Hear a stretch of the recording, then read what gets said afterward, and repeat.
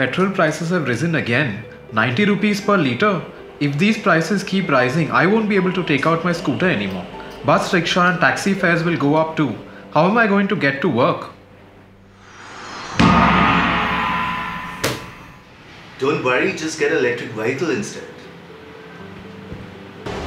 I noticed your car stuck in the garage for weeks now. Yeah, it's broken down again. And uh, with these petrol prices being what they are, I don't think I can take it out as much as I used to. You've had it for four years, right? Yeah, and you know how much I spent on petrol and servicing in these four years? About 3 lakh rupees. I could have taken so many vacations with that amount. Hmm.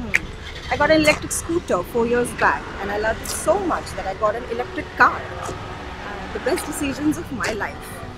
I had Oh. told you four years back, but you laughed at it and you know, like other petrol heads. Yeah, I remember.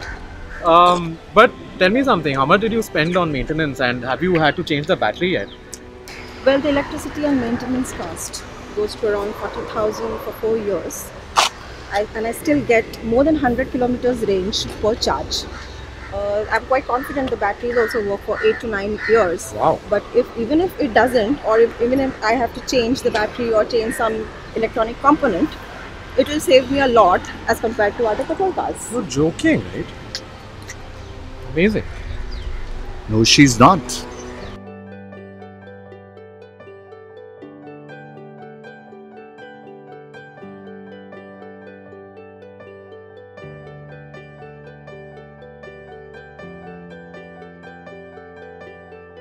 Stop giving your money to oil companies and foreign countries. Switch to an EV today. Help the Indian economy and save money so you can spend money on the things you love. Mother Nature and your wallet will thank you.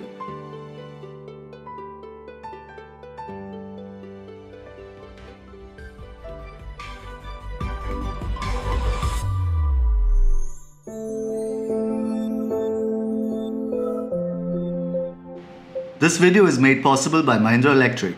Mahindra Electric Mobility is the pioneer of electric vehicle technology in India. Their mission is to bring tomorrow's movement today. To find out more, please visit www.mahindraelectric.com.